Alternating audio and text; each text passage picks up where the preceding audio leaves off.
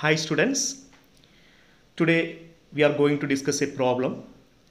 Question is a particle of unit mass is projected with a velocity u at an angle of inclination alpha above the horizontal in a medium whose resistance is k times the velocity.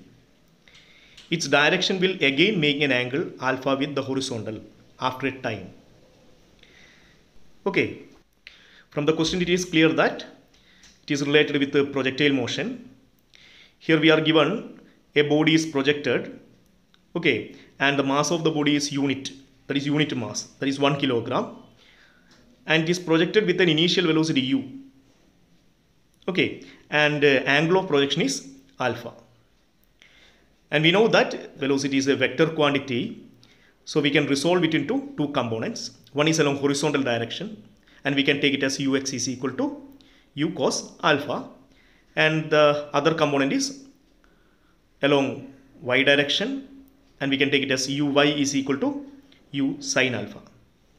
Okay, and we know that in a projectile motion, horizontal velocity is constant. That means horizontal motion is uniform motion and vertical motion is uniformly accelerated motion. Okay, and horizontal motion is uniform because the medium does not exerting any resistance to the motion of the particle. Okay, if the medium has an ability to exert an ex resistive force, then horizontal motion is also non-uniform. Okay, but in the question it is clear the medium has an ability to exert a resistive force. Okay, and the resistive force is k times the velocity that is given in the question. Okay, okay, you just consider it is projected and it is reached at this point. Okay, and at this point its velocity is v and we know that the direction of velocity is given by the tangent. Okay, so we can take that velocity as v vector. Okay, and again we can resolve this velocity vector into two components.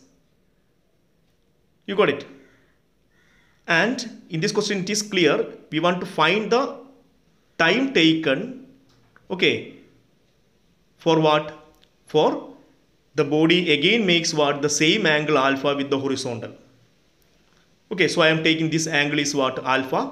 So v vector is resolved into v cos alpha and v sin alpha.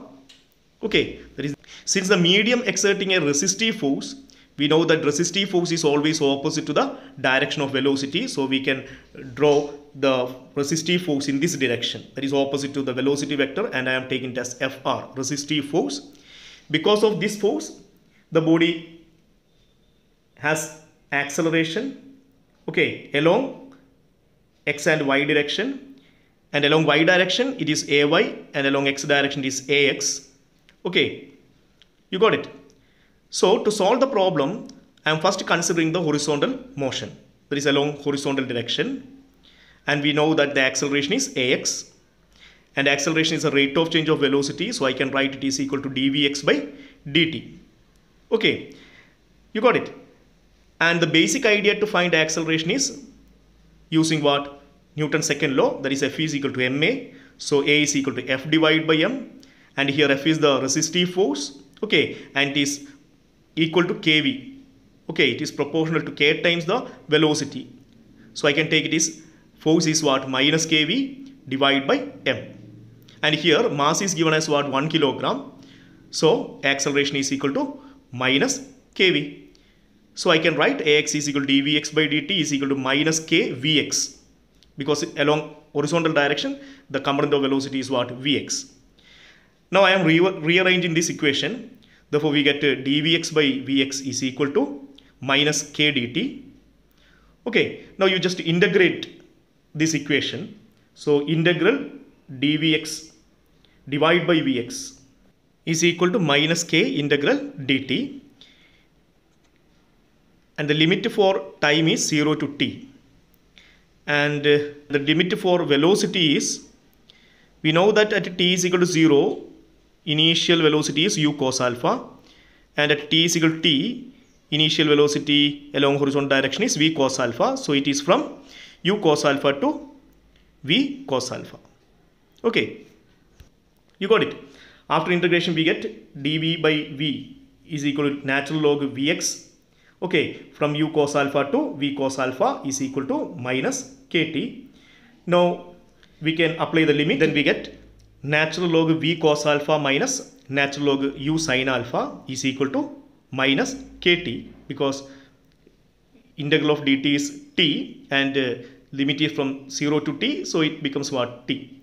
Okay now this is of the form natural log a minus natural log b and we know that it is equal to natural log a by b. Okay so we can write the above equation as natural log v cos alpha divided by u cos alpha is equal to minus kt cos alpha cos alpha cancelled.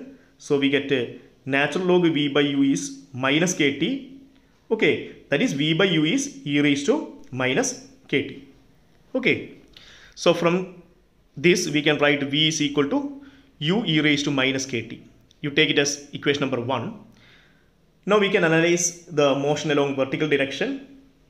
Okay along vertical direction acceleration is what? Ay so we can write ay is equal to dvy by dt okay and uh, this is also equal to minus kvy minus g. Why it is minus kVy by g? Because because of the uh, resistive force, the acceleration is what minus kVy. In addition, this resistive force, Earth is also attracting the body. Because of that force, there is an acceleration due to gravity. So the net acceleration along y direction is minus kVy minus g, isn't it? Okay, therefore dvy by dt is equal to minus k. If you are taking k as common, we get uh, in bracket vy to vy plus g divided by k. Okay, again you rearrange the equation. So we can write as dvy divided by vy plus g by k is equal to minus kt. Okay, now integrate it. So integral dvy divided by vy plus g by k is equal to minus k integral dt. Okay, now you want to put what? The limits.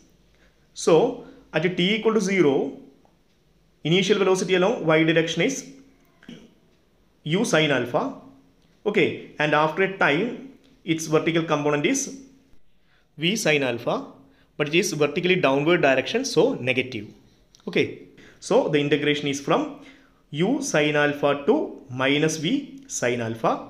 Okay, is equal to minus k integral dt from 0 to t. You got it? Okay. So after integrating we get natural log vy plus g by k from u sin alpha to minus v sin alpha is equal to minus kt. Okay. Now we can apply the limit. We will get what natural log minus v sin alpha plus g by k. I can rewrite as what g, g by k minus v sin alpha. Okay. Minus natural log v sin alpha plus g by k I can re I can write as what g by k plus u sin alpha is equal to minus kt. Okay, this is also in the form natural log a minus natural log b that is natural log a by b. So we can rewrite as natural log g by k minus v sin alpha divided by g by k plus u sin alpha is equal to minus kt. Okay, you can take k as LCM on numerator and denominator we get uh, natural log g minus kv sin alpha by k divided by g plus ku sin alpha by k. K k cancelled. Okay so it is natural log g minus kv sin alpha divided by g plus ku sin alpha equal to minus kt now we can rewrite it as g minus kv sin alpha divided by g plus ku sin alpha equal to e raised to minus kt okay take g plus ku sin alpha on the right hand side we get g minus kv sin alpha is equal to g plus ku sin alpha into e raised to minus kt. Okay, that is g minus kv sin alpha is equal to g into e raised to minus kt plus ku sin alpha into e raised to minus kt. Okay, again you rearrange this equation. Okay, then we get kv sin alpha is equal to g minus g e raised to minus kt minus ku sin alpha e raised to minus kt. Okay, and we know that from equation 1 v is equal to u e raised to minus kt. So this equation becomes ku e raised to minus kt sine alpha equal to g minus g e raised to minus kt minus ku sine alpha e raised to minus kt. Okay. Now after rearranging we get to the equation as 2 ku sine alpha e raised to minus kt is equal to g minus g e raised to minus kt. That means minus ku sine alpha e raised to minus kt is taken from right side to left side. Okay, then we get this equation. Now divide the equation with the e raised to minus kt. Then we get uh, 2u 2 ku sine alpha is equal to g by e raised to minus kt minus g. Okay, now you take uh, minus g to left hand side. Then we get g by e raised to minus kt is equal to 2 ku sine alpha plus g. Okay, again rewrite the equation as g e raised to plus kt is equal to g plus 2 ku sine alpha. Okay, and dividing with g we get e raised to kt is equal to 1 plus 2 ku sine alpha divided by g. So kt is equal to natural log 1 plus 2 ku sine alpha by g. Therefore t is equal to 1 by k natural log 1 plus 2 ku sine alpha divided by g. Okay. I think all of you got the idea. If you like this video, please subscribe and share. Okay.